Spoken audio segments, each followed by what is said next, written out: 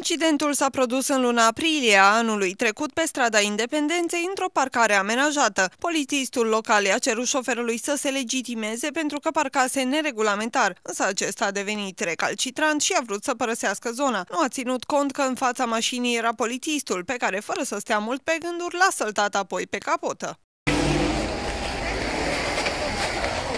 Sorine, Sorine!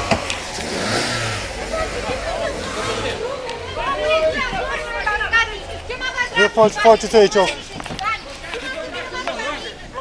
Sparge geamul pe el. Dar nu ți-e rușine, ne simțim. Sparge geamul pe el, nene. Sparge geamul pe el. Așa ceva dai peste oameni, nu se poate așa ceva. Ce junglă aici? Ia vezi. Vorbește frumos, domnule.